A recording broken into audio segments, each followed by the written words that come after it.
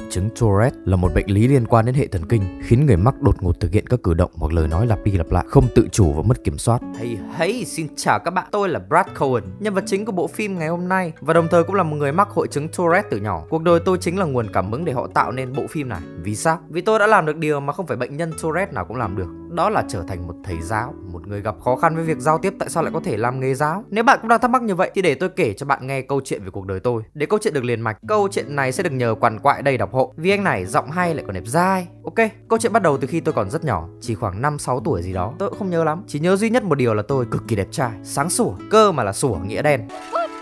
Nói thật, hồi đó tôi biết mình bị cái đếch gì đâu. Những tiếng sủa vô nghĩa cứ tự động buột ra mà tôi chẳng thể kiểm soát được. Bạn bè ai cũng trêu chọc Thậm chí là gây sự đánh đập. Giáo viên đã không thông cảm thì chớ. Lại còn vu oan cho tôi là cố tình phá phách để tạo nét. Nói thật chứ, trông tôi này Cần đếch thì phải tạo. Chưa dừng lại ở đó Người ngoài không hiểu chuyện thì đã đành. Khi về tới nhà Người duy nhất chịu hiểu và thông cảm cho tôi là mẹ, Chứ còn bố tôi thì lạ lắm. Dường như ông có vấn đề với sự kiên nhẫn. Đã thế không ít lần bố mắng tôi vì gây quá nhiều tiếng ồn, Mà không chỉ mắng ở nhà đâu. Thậm chí là ở nơi đông người cũng không hề nể nang gì luôn. Tôi vẫn nhớ như in một lần, Ba bố con đang trên xe vô cùng vui vẻ, Thì đột nhiên những tiếng sủa của tôi lại chen chân vào góp vui. Cơ mồ Tôi gần như chết lặng Tôi chưa bao giờ thấy bố gắt như thế. Và tôi cũng chưa từng cảm thấy mình có lỗi nhiều đến như vậy. Tôi cảm giác như thể mình là một sự thất bại của tạo hóa. Thất bại đến nỗi ngay cả chính bố đẻ cũng không thể chấp nhận được. Nếu cuộc đời này là một trò chơi giả lập, Thì tôi nguyện sẽ sới tung mả cái thằng nào lập trình ra mình luôn. Fix lỗi cho tao đi. Xin mày. Cuộc đời như thể nghe thấy lời thỉnh cầu ấy, Nên đã ban thêm cho tôi một nỗi bất hạnh nữa cho nó trọn vẹn. Gia đình êm ấm của tôi bất ngờ dạn nứt. Tôi chả hiểu, Tôi chả hiểu vì lý do gì. Cũng chẳng biết có phải do tôi hay không. Chỉ biết rất nhanh sau đó,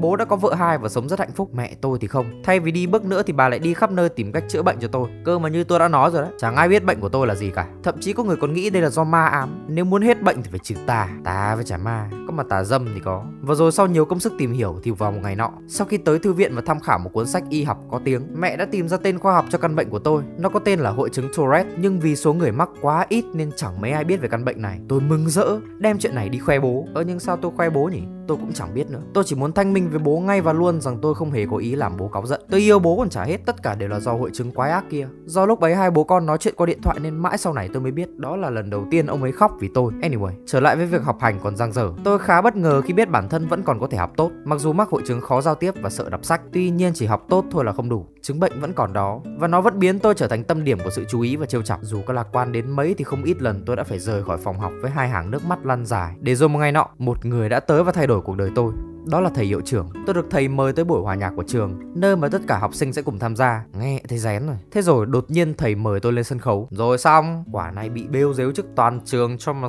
xem. Suy nghĩ ấy thoáng qua trong đầu Khiến chân tay tôi bủn rủn lo sợ. Tại sao em lại sủa trong giờ? Thầy hỏi tôi. Tại sao á? Tôi mà biết tại sao thì tôi chẳng ở đây giờ này. Không còn cách nào khác. Tôi bắt đầu giải thích về hội chứng Tourette mà mình đang gặp phải. Chẳng rõ mấy bộ óc non nớt trong đầu toàn liên quân với Free Fire kia có hiểu được những gì tôi đang nói không. Nhưng thầy hiệu trưởng thì có vẻ như là có. Thầy bất ngờ hỏi tôi Liệu chúng tôi có thể giúp em bằng cách nào? Thề luôn đấy, đây là lần đầu tiên trong cuộc đời tôi có người hỏi câu này ấy. Bất ngờ vãi đái. Tôi cũng chẳng mong gì nhiều chỉ cần mọi người đừng kỳ thị và đối xử với mình một cách bình thường như bao người khác là được. Mọi người im lặng một lúc, xong rồi một ai đó dưới đám đông đã vỗ tay, hai tiếng vỗ tay và rồi rất nhanh chóng tất cả đều vỗ tay và hướng mắt về phía tôi. Trong những đôi mắt ấy, tôi cảm nhận được nhiều sự cảm thông và cổ vũ. Tôi ngước lên nhìn thầy hiệu trưởng với một ánh mắt biết ơn vô bờ bến. Kể từ đó, tôi nuôi dưỡng cho mình một ước mơ cháy bỏng đó là trở thành một thầy giáo. Kết quả là sao? Hãy cùng tôi tua nhanh đến hiện tại trải qua một tuổi thơ cơ cực. Cuối cùng tôi cũng đã hết tuổi thơ. Còn cuộc sống thì vẫn cứ là bơ vơ cơ cực bù lại. Thì vẻ đẹp trai và sự lạc quan của tôi tôi vẫn luôn còn đó. Lạc quan đến nỗi nhiều người còn tưởng tôi là fan MU. Anyway, tôi bắt đầu nộp CV vào tất cả những trường học trong khu vực với hy vọng nhỏ nhoi là chỉ cần một trong số đó nhận mình là nổ hũ luôn. Và các bạn đoán xem, rất nhiều người đã gọi tôi đi phỏng vấn. Đây rồi, ngành giáo dục. Bố mày tới đây ghét cô. Ấy thế nhưng thứ đầu tiên vả thẳng vào mặt tôi là ánh mắt e ngại của các nhà tuyển dụng. Vâng, lại là những ánh mắt đó. Những ánh mắt của sự dè chừng pha trộn với một chút thương hại và khinh thường. Cứ thế ngày qua ngày, tôi đi hết trường nọ đến trường kia và tất cả những gì tôi nhận lại chỉ là một lời hứa liên lạc lại sau. Tôi chờ đợi trong mòn mỏi Nhưng rồi người liên lạc với tôi lại là bố. Mặc dù không thân thiết cho lắm nhưng lúc nào tôi cũng sẵn lòng gặp bố mình. Thì ra ông đang làm việc ở một công trường. Hay nói đúng hơn là một đại công trường. Nơi các cỗ máy hoạt động 24 trên 7 ồn ào và cực kỳ náo nhiệt. Tôi tự hỏi tại sao ông lại làm việc được ở một nơi như này? Nhưng lại không thể chịu được dăm ba cái tiếng động vô nghĩa của con trai mình. Anyway, bố gọi tôi tới đây không phải để xin lỗi Mà là để offer một cơ hội làm việc. Trong thời gian chưa tìm được việc làm Mặc dù tôi biết idol Lộc Phụ Hồ cũng đã làm việc ở đây Nhưng ước mơ duy nhất của tôi vẫn là phải làm nghề giáo, không có ngoại lệ nào khác. Và thế là tôi lại tiếp tục kiên trì đi phỏng vấn và một cuộc phỏng vấn sau đó đã thực sự đặt ước mơ của tôi vào giới hạn của sức chịu đựng. Tôi muốn apply một chân làm thầy giáo. Tôi có niềm đam mê, tôi tràn trề nhiệt huyết. Anh đã từng nghĩ đến việc sẽ ứng tuyển vào MU hay là G2 Esports chưa? Vì anh có tố chất của một diễn viên hài đấy. Những lời nói vô tình ấy tưởng chừng như vô hại nhưng đối với tôi, chúng như những vết dao cùn cứa đi cứa lại vào tim, khiến tôi không đủ kiên nhẫn để có thể ngồi thêm được nữa. Chưa bao giờ trong cuộc đời tôi cảm thấy bất lực đến như vậy. Tại sao tôi lại không thể bình thường như bao người khác? Thế sao căn bệnh không chịu buông tha tôi dù chỉ một phút? Những câu hỏi cứ thế dằn vặt tâm can, khắc chặt vào tâm khảm, khiến nước mắt của tôi cứ thế trào ra không ngừng. Có một điều mà mẹ tôi luôn dặn, đó là không bao giờ được phép để con đĩ bệnh tật kia chiến thắng. Tôi đã chiến đấu với nó cả mấy chục năm nay rồi chẳng nhẽ lại buông xuôi để nó win? Và thế là tôi lại tiếp tục hành trình khuất phục ngành giáo dục. Những khó khăn vẫn tiếp tục ập đến. Thế nhưng lần này, tôi đã thấy ánh sáng ở cuối con đường. Đó chính là trường tiểu học Mountain Dew hay là View gì đó. Thầy cô giáo ở đây chào đón tôi với một thái độ khác hẳn. Thậm chí là còn cực kỳ thoải mái khi biết tôi mắc hội chứng Tourette, bầu không khí thoải mái tới nỗi. Chúng tôi đã ngồi nói chuyện suốt 2 tiếng không ngừng nghỉ. Nhờ đó tôi đã có thể sâu hết tất cả những tinh túy mà mình có. Để rồi chưa đầy một tuần sau, tôi đã chính sức được nhận.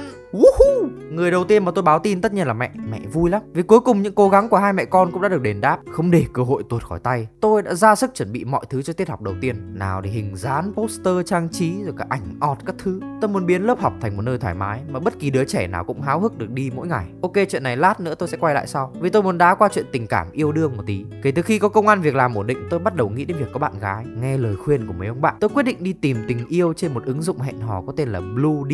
Nhờ thế mà tôi tìm thấy em, Người con gái của cuộc đời tôi, Nancy. Tôi khá bất ngờ khi cô ấy cũng là fan MU giống tôi. Cười, suốt thôi. Thậm chí là, thật là đáng yêu làm sao. Càng nói chuyện với nhau nhiều, chúng tôi càng nhận ra nhiều điểm chung. Chúng tôi thích cùng một nhóm nhạc, Cùng thích đi dạo ngắm cảnh. Và đặc biệt là cùng thích xem các video recap của The Reviewer. Chẳng phải là trời sinh một cặp hay sao? Niềm vui chưa dừng lại ở đó. Sau nhiều buổi hẹn hò, Tôi quyết định sẽ dắt em về nhà ra mắt gia đình. Và bất ngờ thay Gia đình tôi cũng cực kỳ ưng Nancy đặc biệt là mẹ. Anyway, kể từ ngày có thêm tí vitamin tình yêu, cuộc sống của tôi đột nhiên dễ thở phết, cả chuyện công việc cũng vậy. Ngày nhận lớp cuối cùng cũng tới, nhìn những gương mặt háo hức kia mà xem, tôi sẽ yêu chúng nó lắm đây. Cái đồ lập dị Ơ mẹ cái thằng danh con này. Đùa thôi, mấy ông nhỏ này làm sao làm khó được tôi. Đợi đấy. Ngay từ buổi học đầu tiên, thay vì dạy những thứ cao siêu, tôi lại giới thiệu cho lũ trẻ hiểu về hội chứng Tourette và cho phép chúng hỏi bất kỳ câu hỏi nào chúng muốn. Cốt là để hai bên hiểu nhau hơn. Đa số học sinh đều rất ngoan. Chỉ trừ có thanh niên này tôi tạm gọi là tí quậy. Tí thường xuyên ra khỏi chỗ một cách tự do, không tập trung nghe giảng, thậm chí còn trả treo lại giáo viên. Các giáo viên khác trong trường có nói với tôi rằng nên chuyển em tí sang lớp đặc biệt dành cho học sinh cá biệt. Nhưng hỡi ôi, sao tôi có thể làm thế được? Tôi cũng từng bị lầm tưởng là học sinh cá biệt mà. Tôi thừa hiểu rằng không có học sinh nào là không dạy được, chỉ là giáo viên có biết cách dạy hay không mà thôi. Và thế là những ngày sau đó, tôi quan sát và theo kèm tí quậy mọi lúc mọi nơi. Tôi nhận ra rằng cậu nhóc này rất thích được khen và đặc biệt là sợ đọc sách. Ok, đã thế tôi sẽ bắt nó phải đọc. Đấy nhá, để thầy làm mẫu cho này. O tròn như quả trứng gà. Ô thì đội mũ ơ ơ động đất à? Không phải. Đây là bọn anh đã đi lên. Cứ như thế từ một cậu nhóc bất trị tí quậy đã dần xóa được chữ quậy trong tên của mình. Ấy thế nhưng niềm vui chưa kịp nhân đôi thì một nỗi buồn khác đã ập tới. Trong lớp có một em học sinh tên là Heather thông minh sáng dạ và đặc biệt là cực kỳ quý mến tôi. Ngày nào cũng mong được mau mau tới lớp để được gặp thầy Cohen Tôi tất nhiên là cũng rất quý Heather Thế nhưng, số phận lại vô cùng tàn nhẫn. Một cô bé mới chỉ 5-6 tuổi, Nhưng đã phải gánh chịu một căn bệnh quái ác không thể chữa trị. Lần đầu tiên trong sự nghiệp cầm phấn của mình, Tôi phải tham dự một đám tang của học trò. Và giây phút tôi bật khóc Là lúc mà tôi biết mình cần phải cống hiến nhiều hơn cho cái nghề này. Tạm gạt bỏ nỗi buồn sang một bên. Tôi trở lại với công việc một cách đầy nhiệt huyết. Ngày qua ngày dậy không biết mệt. Tất cả đều vì một mục đích duy nhất, Đó là không để một đứa trẻ nào bị bỏ lại phía sau. Và rồi sau nhiều ngày liền cố gắng, Những nỗ lực của tôi cuối cùng cũng đã được đền đáp một cách xứng đáng Bằng một phần thưởng danh giá. Đó chính là danh hiệu giáo viên của năm. Ai ngờ được một cậu bé mắc bệnh Tourette ngày nào, Nay lại có thể đạt được danh hiệu giáo viên xuất sắc cơ chứ. Sướng phê hết cả người. Trong buổi lễ trao giải diễn ra sau đó Tất cả những người thân, học trò của tôi đều có mặt để chứng kiến giây phút này Một giây phút mà tôi hằng ao ước bấy lâu Thật may vì tôi đã không bỏ cuộc Nếu không, tôi sẽ chẳng bao giờ có được một tương lai sáng lạn như bây giờ Và đó cũng là tất cả câu chuyện về cuộc đời tôi Brad Cohen Tôi sẽ không nói thêm bất kỳ một câu đạo lý hay dạy đời nào cả Vì tôi biết rằng sau khi nghe xong câu chuyện này mỗi người sẽ tự rút ra cho mình một bài học quý giá. Như vậy đối với tôi là đủ lắm rồi. Cảm ơn các bạn đã lắng nghe. Và nếu thấy hay thì đừng quên để lại một like, một subscribe nếu bạn chưa đăng ký kênh. Xin chào và hẹn gặp lại.